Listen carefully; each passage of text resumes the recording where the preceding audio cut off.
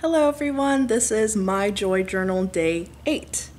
Uh, today was a great day because I got my passport in the mail. So it's like actually guaranteed I'm gonna get to go on this trip, like actually this time.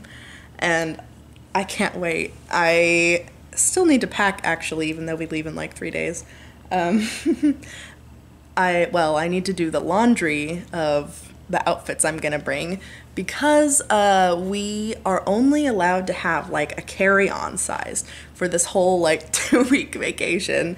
Um, and also, I want to leave plenty of room in my suitcase to bring stuff back.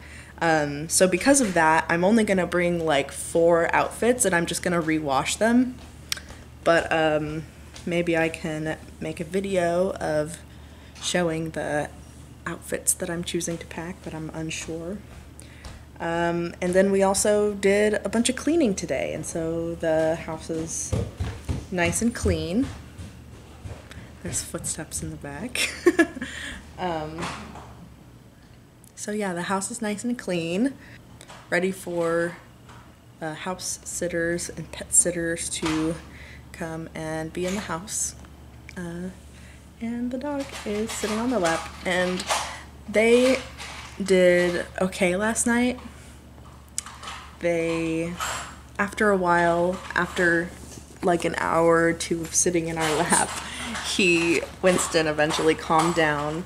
Uh, but Wombat was just freaked out the whole night. He's, poor thing, he's so anxious just all the time. Um, so there wasn't much helping him. He just kind of sat in a corner of my room and didn't get in bed with me, but uh, Winston did okay.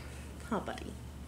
So, in summary, the thing that gave me joy today was my passport getting here and finally knowing that I will be getting to go on this trip. I cannot wait. I'm just going to, my brain is going to be a sponge for like three weeks straight, absorbing everything I see. and uh, thank you for being here. Bye.